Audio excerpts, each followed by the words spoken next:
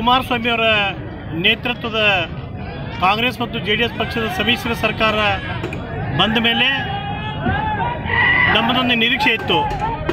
ಚುನಾವಣಾ ವಾಗ್ದಾದಂತೆ ಸನ್ಮಾನ್ಯ Shri H D Kumaraswamy ಅವರು ಅಧಿಕಾರ ಸ್ವೀಕಾರ ಮಾಡಿದ ಇಪ್ಪತ್ನಾಲ್ಕು ಗಂಟೆಯಲ್ಲಿ ರೈತರ ಸಂಪೂರ್ಣ ಸಾಲ ಮನ್ನಾ ಮಾಡ್ತು ಅನ್ನೋಂಥ ಒಂದು ವಾಗ್ದಾನವನ್ನು ಚುನಾವಣೆಗಿಂತ ಮುಂಚಿತವಾಗಿಯೇ ಕೊಟ್ಟಿದ್ದರು ಬಹುಶಃ ನಮ್ಮದೆಲ್ಲ ಆಸೆ ಇತ್ತು.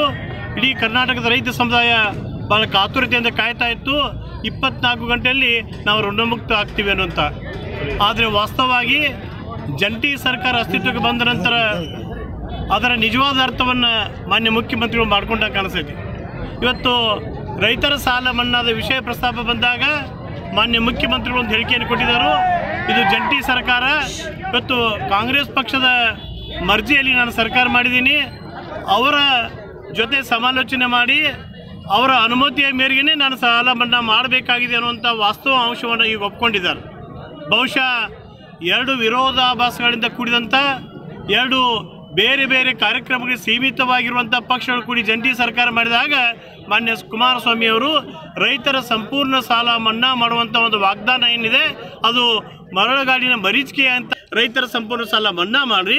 ಒಂದು ವೇಳೆ ಭಾಳ ಇಕ್ಕಟ್ಟಿನ ಪರಿಸ್ಥಿತಿಯಲ್ಲಿ ನೀವು ಸಿಗ್ಲಿದ್ರೆ ನಿಮ್ಮಷ್ಟಕ್ಕೆ ನೀವು ಆತ್ಮವಿಮರ್ಶೆ ಮಾಡ್ಕೋರಿ. ಕೂಡಲೇ ಅಧಿಕಾರ ತ್ಯಾಗ ಮಾಡುವಂಥ ಒಂದು ಪ್ರಕ್ರಿಯೆ ಚಾಲನೆ ಕೊಡಿ ಅನ್ನುವಂಥ ಮಾತನ್ನು ಹೇಳಿ ಮತ್ತೊಮ್ಮೆ ನಿಮ್ಮನ್ನು ರೈತರ ಸಂಪೂರ್ಣ ಸಾಲ ಸಾಲ ಮನ್ನಾ ಮಾಡಲು ಒತ್ತಾಯ ಮಾಡ್ತೀವಿ.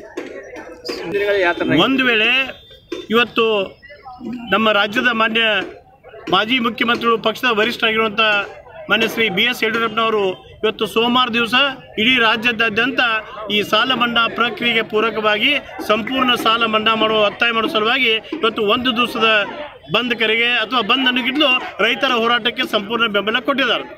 ಒಂದು ವೇಳೆ ಇದರ ಪರಿಣಾಮ ಆಗಲಿಲ್ಲ ಅಂದ್ರೆ ಕೂಡಲೇ ಇದಕ್ಕೆ ಪೂರಕವಾದಂಥ ನಿರ್ಣಯ ಬರಲಿಲ್ಲ ಅಂದ್ರೆ ಇಡೀ ಆಡಳಿತ ಯಂತ್ರವನ್ನು ಸ್ಥಗಿತಗೊಳಿಸುವಂಥ ವ್ಯವಸ್ಥೆ ಆಗ್ಬೋದು. ಈ ಕುರಿತು ನಮ್ಮ ಭಾರತೀಯ ಜನತಾ ಪಕ್ಷ, ಪಕ್ಷದ ವರಿಷ್ಠರು ನಿರ್ಣಯ ತಗೋತಾರೋ, ಅವ್ರು ಯಾವ ರೀತಿ ನಿರ್ಣಯ ತಗೋತಾರೋ ಅಂಥ ಹೋರಾಟಕ್ಕೆ ನಾವೆಲ್ಲ ಅನಿ ಆಗ್ತೀವಿ ಅನ್ನೋಂಥ ಮಾತನ್ನು ಈ ಸಂದರ್ಭದಲ್ಲಿ ಹೇಳ್ತಾ ಇದ್ದೀವಿ.